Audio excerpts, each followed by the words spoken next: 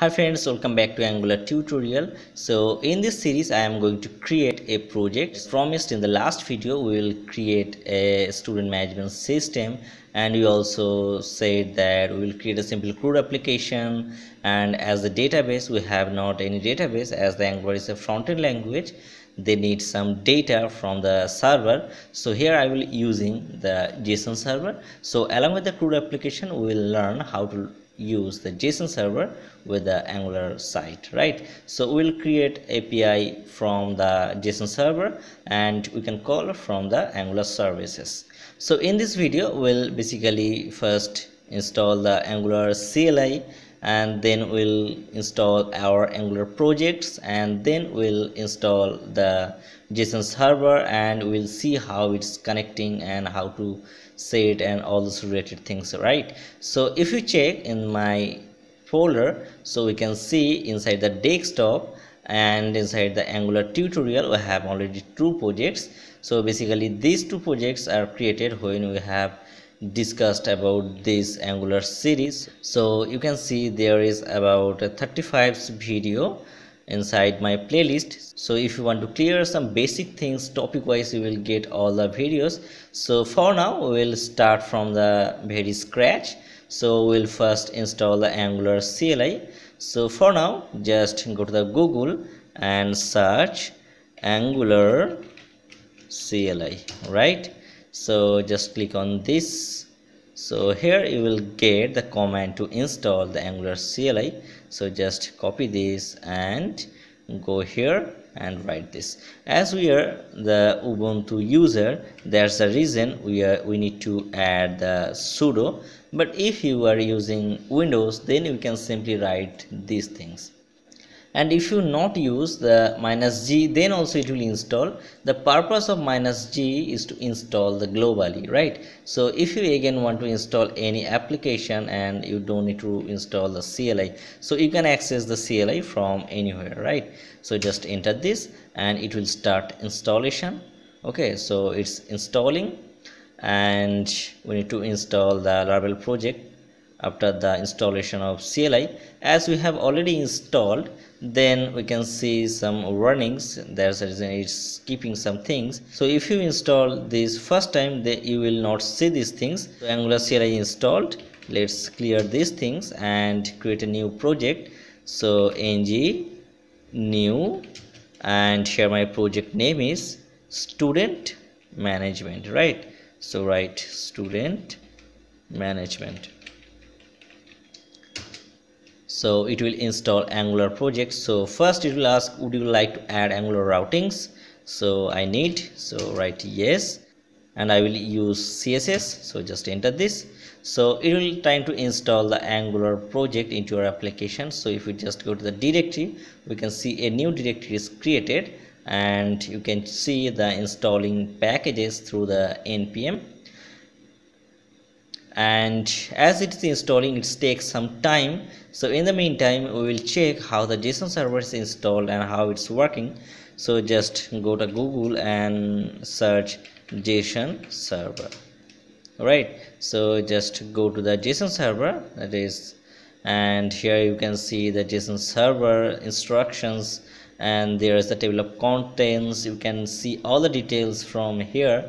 And to getting started to install the json server we need to use the npm install minus g json server. So we'll install json server globally. That's the reason we need to use minus g. So let's see what happened inside this terminal. So you can see the package installed successfully and successfully installed git. Actually when you install angular project it will automatically install the git also. So let's go inside my project so cd student management. And i want to open the code base. So i will use the visual studio code. So code dot. So you can see the files and folders for my project. And i want to run the project also. So write ng serve. So it will basically create the angular bundle so that it will compile and will run and will generate links right? So for first time it will take some times and from second time it will take less time. So first it will take some times. So let's see. Okay so compiled successfully. So you can see a url is generated. That is the 4200 localhost 4200 so if you just go here you can see a student management app is running so this is your application and all things we can be done from this. So all things are installed right? So now we need to prepare the json server. So we'll install the json server and we'll create our data from here right? So to install json server we need to use npm install minus g json server.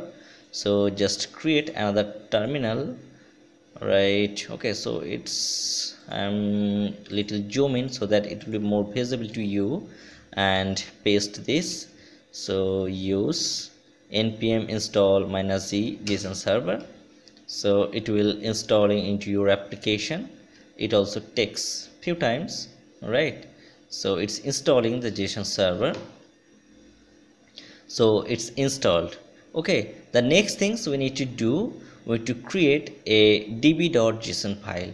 So here i want to create a folder that is database and inside the database we can create a file that is db.json you can create any files but for here i am creating the db.json so just open the file so initially this is blank file as usual. I just created these things.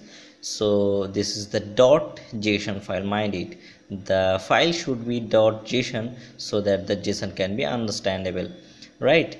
And i want to add some data. So you can see in this way we can create json formatted value and we'll get three types of array means three types of data that is post data comment data and profile data. So just use these data inside the json file. So three types of array are created. Now how to create link? So how to get the access of these things from the browser right? So the next things we going to start the json server. So to start the json server we need to use json server watch and the file that is the json file. So just go to the terminal and here what is the folder name? So let's see what's the folder that is. So so we need to so we need to go outside of the student management. So just go out and let's check. So this is the database so right? Database.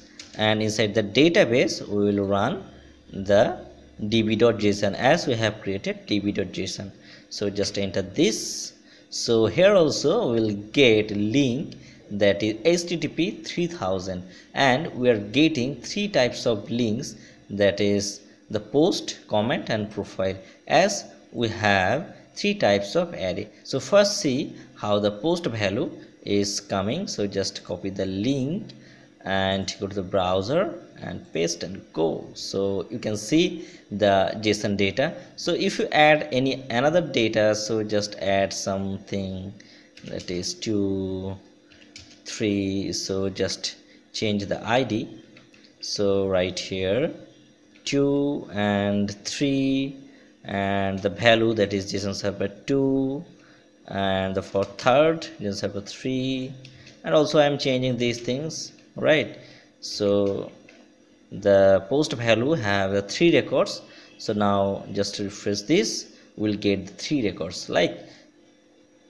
So it's just like api we can use this link for our api creation right? So let's go to the home page. So if you just go here you can see not only the post we will get the comments profile so if we just click here so we can see these simply things why?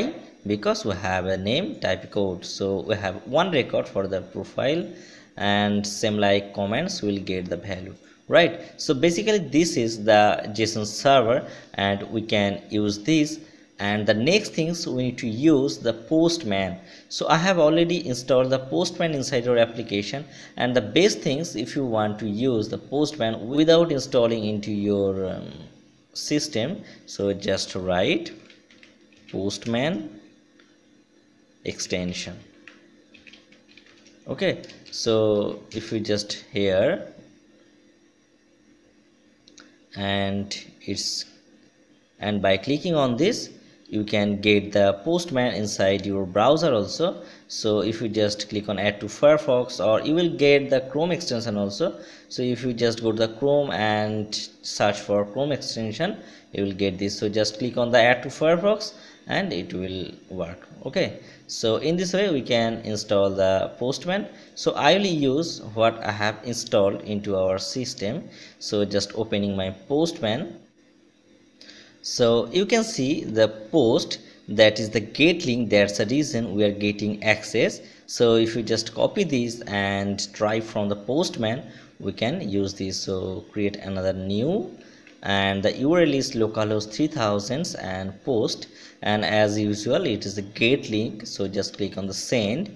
We can get access of data okay? So we can get these records from the postman and if you simply check another that is if you just simply the comments and write this and paste it here and click on send. We can get access of data. Okay. so in this way we can create our api data. So we'll provide the data from json server and we'll create the service inside our angular application and we'll create the complete CRUD application right? So next video will make api with json server and we will create add edit list delete api ready with us okay? So that when we'll integrate with angular we can use that easily right? So don't forget to like and subscribe this channel and i will come with the next part very soon right? And if you have any questions about this video please comment in a below comment section. Thanks for watching this video. Have a good day